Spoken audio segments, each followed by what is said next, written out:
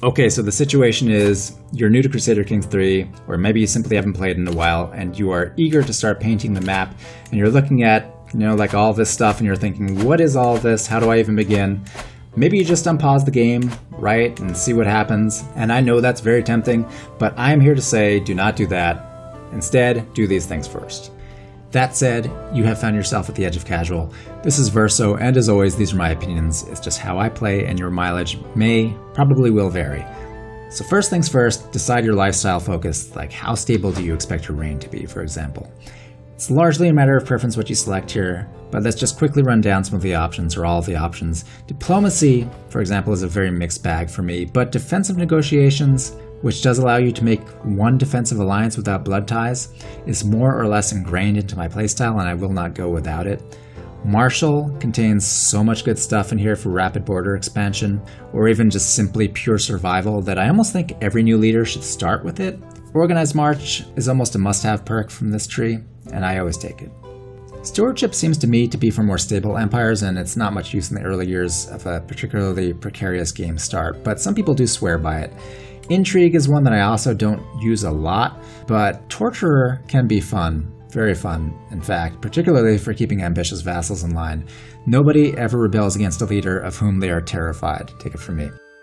Learning is one that I don't really get, but maybe if you're going for a religious domination type victory, I could see it. Whole of Body is a tree that I like a little bit later in the game in order to eke a few more years of life out of a successful leader, so sometimes I do go into that one. It is ideal if you can match your lifestyle to your character's educational background so that you can accrue lifestyle experience faster, but it's not absolutely essential. You don't have to do it at all if you don't want to. After this, you'll want to check out your council, which might be okay as is, but is more than likely mediocre to terrible. So keep in mind that anybody that you fire right now today will hate you for a long time. That's especially problematic if you fire one of your vassals. Anybody else, just probably try to lose anybody whose pertinent skill is less than 10. If you're feeling more ambitious, then maybe 12. Check if you have any courtiers on hand who can fill these roles, but if not, just note which council members can't currently be replaced and replace them later when you can. Note that you usually can't replace religious council members in most religions, so just hope that whomever you get is not absolutely horrible. While here, you might want to think about council tasks as well. For example, I like to immediately start using my marshal to improve my champions, that's just how I roll. Check your court next, and there are a variety of roles here that you can fill, but the only one that desperately needs filling is your court physician. The court physician can be either male or female, so look for somebody with good aptitude if you've got them, or at least a high learning stat. Physicians can kind of grow into the roles a bit, so just know that. Moving on from that, check your champions, or knights, or whatever your civilization is currently calling them.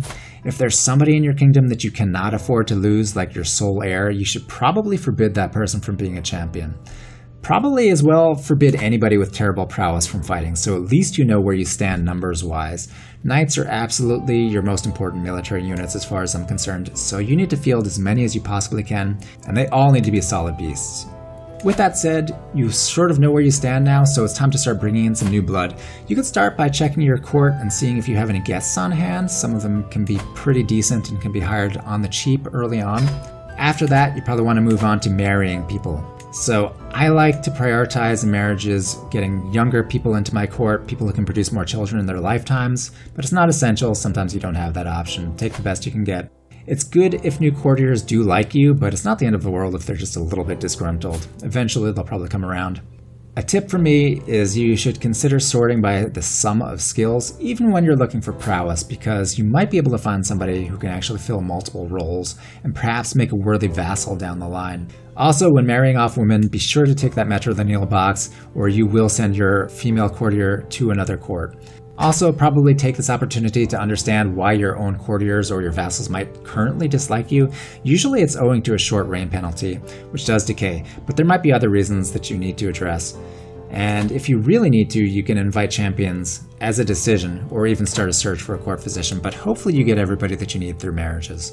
Moving on, personal preference here, but tutor every child in your court. Any child who has already shown a predilection for a learning style should be given an educational focus and a guardian who excels in that pertinent stat. Preferably, the guardian also has high learning. You can and probably should wait on this one actually until all of the marriage is complete and you've got a full court. Okay, almost done. Do note this tutorial is sort of assuming an earlier, probably tribal start, more warfare based. You don't have to play that game. I find it more exciting in the early game, so that's how my mind is skewed right now. With that said, now is a good time to really start assessing your neighbors, sizing up the alpha dogs, figuring out who's most vulnerable, etc. Border expansion is going to be the name of the game early on, so use the information that the game provides you about military composition. See what men at arms others are fielding and try to have counters for them. And remember that you're usually not just fighting one chief or whatever, you'll be fighting any allies that they have as well. And some of those alliances might form after you unpause, so, you know, just stay on top of that.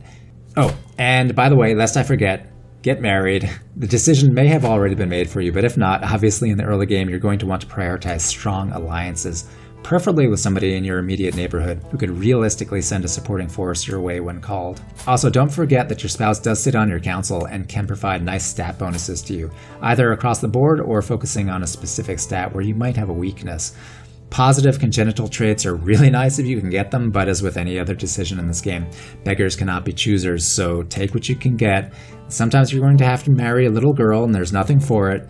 If you've already got an heir, however, maybe marrying an older woman isn't a bad idea. One thing I will suggest though is try not to hitch your wagon to an alliance that is going to be more trouble than it's worth, like somebody who has a lot of enemies and does not have a good military. And finally, I think you're pretty much good to go. So here's where you can start scheming. You might have to start by swaying your religious council member, since they usually hate new rulers, but if not, you can start swaying any neighbors that you might want to buddy up to later on. Depending upon whether you're feudal, it might also not be too early to start using your religious council member to fabricate a claim on whatever you think will be your first conquest. Remember, though, that you have to pay for those eventually. I've forgotten in the past. There's no shame in it. It's okay if it happens. I think that gets you to a place where you can unpause the game and just start letting the chips fall where they may. In some cases, these games really are sort of won or lost by the decisions you make in the first days, so it's good to get as much of this busy work taken care of as possible. And if for whatever reason you'd like to see more of this in action, I do have a Let's Play style video on this very channel in which I go into this with the Chiefdom of Chervin, so check it out. Or, you know, just ask questions in the comment section below. Maybe I or somebody smarter than me can answer them. Any kind of engagement makes my day. It's also literally the only way anybody will ever find this video. So if something here helped you, a simple thumbs up really does make a huge difference. And in the meantime, this has been Verso. Thanks so much for coming out to the edge of casual with me. Everybody out there, have a great day.